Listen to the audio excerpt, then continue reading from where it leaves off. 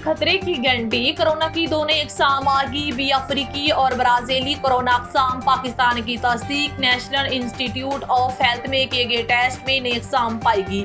आने वाले केसेस की कंटेक्ट ट्रेसिंग शुरू कर दी नेशनल हेल्थ सर्विसेज़ वज़ीर सेहत सिंह का कहना है नए वारंट से मौत की शरह ज़्यादा है, दोनों वायरसेस पर वैक्सीन का असर नहीं होता, अवाम एहतियात करें।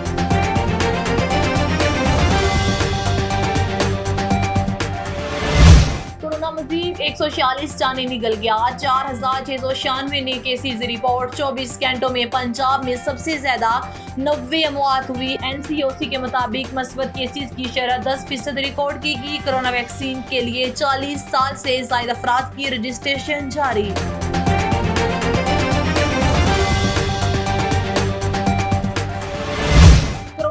बीस के तहत लाहौर में आज और कल मुकम्मल लॉकडाउन सिर्फ़ रमज़ान बाज़ार medical stores petrol pumps vaccination centres खुले रहेंगे।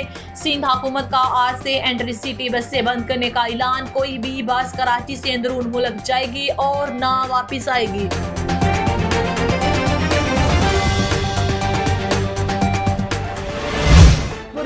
ममालिक से आने वाले मुसाफरों के लिए नई एडवाइजरी जारी एयर ट्रैफ़िक अस्सी फ़ीसद तक कम करने की हदायत। तमाम मुसाफरों की फास्ट ट्रैक ऐप ट्रैक में ऐप में रजिस्ट्रेशन लाजमी करार, बहत्तर घंटे कबल पी सी आई मनफी टेस्ट रिपोर्ट दिखाना लाजम होगी। पाकिस्तान आमद पार मुसाफर का दोबारा पी सी आर टेस्ट किया जाएगा। एडवाइजरी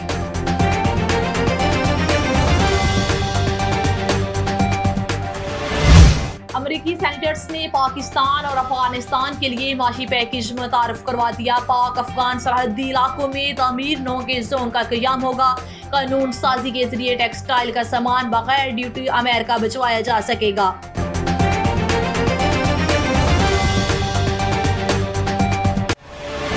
मुफ्ता इसमाइल ने एन ए दो सौ उनचास का इंतबी नतीजा चैलेंज कर दिया। रिटर्निंग ऑफिसर को दोबारा गिनती का मुतालबा कर दिया। पंद्रह पोलिंग स्टेशन के फ्रांसिंग आर्डर की दरख्वास्त। मुफ्ता इसमाइल ने कहा कि वोटर के घुंटों के निशान की जाँच पड़ताल की जाए।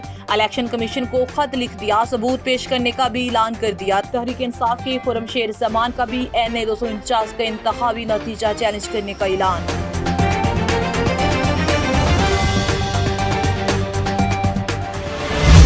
एन ए दो सौ उनचास का इंतबी मार्का और इसका नतीजा पीपल्स पार्टी और मुस्लिम लीग को और भी दूर कर गया। मरियम नवाज़ ने इस इंतब के हवाले से सख्त लबो लहजा इख्तियार किया। ताहम मुस्लिम लीग नून के सदर शहबाज शरीफ ने लहजे के हवाले से नरम रविया इख्तियार किया और इस हवाले से पीपल्स पार्टी पर बर रास्त कोई हमला नहीं किया और ना ही इस बार धांधली का इल्ज़ाम आयद किया, जबकि जुमेरात की रात को जब नतीजे के लिए दोनों जमातों में सख्त मार्का आरई जारी थी।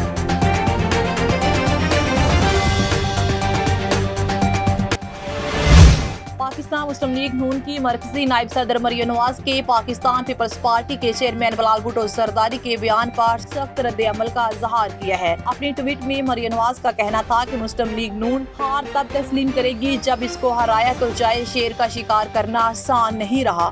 उन्होंने कहा कि शेर को हराने के लिए जो हथकंडे आपने आजमाए इनकी दास्तान भी सामने आने वाली है। इंतज़ार फरमाए और याद रखे, मुस्लिम लीग नून अपना और एन ए दो सौ उनचास के आवाम का हक वापस लेकर रहेगी।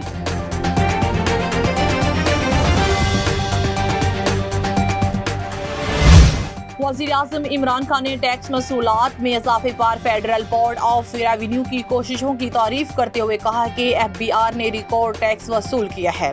ये बात वजी अजम इमरान खान ने एफ़ बी आर की कारकर्दगी पर जारी किए गए एक बयान में कही है। उन्होंने कहा कि एफ़ बी आर का अप्रैल में सतवंजा फ़ीसद टैक्स नमो हासिल करना काबिल तहसीन है। एफ़ बी आर ने रिकॉर्ड टैक्स वसूल किया है। वजी अजम इमरान खान ने टैक्स वसूलात में इजाफे पर फेडरल बोर्ड ऑफ़ रेवेन्यू की कोशिशों की तारीफ़ करते हुए कहा कि एफ़ बी आर ने रिकॉर्ड टैक्स वसूल किया है। ये बात वजी अजम इमरान खान ने एफ़ बी आर की कारकर्दगी पर जारी किए एक बयान में कही है। वजी अजम इमरान खान अगले माह सऊदी अरब का दौरा करेंगे। उन्होंने कहा कि एफ़ बी आर का अप्रैल में सतवंजा फ़ीसद टैक्स जमू हासिल करने का काबिल तहसीन है। वजी अजम ने कहा है कि एफ़ बी आर ने रवा साल अप्रैल में तीन सौ चौरासी अरब रुपए की टैक्स वसूलियाँ की। इमरान खान का कहना है कि गुजशत माली साल अप्रैल में दो सौ चालीस अरब रुपए टैक्स जमा किया गया था।